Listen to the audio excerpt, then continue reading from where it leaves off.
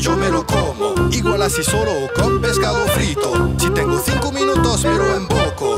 Cada día me levanto, lo invoco, lo imploro que vuelva a mi plato.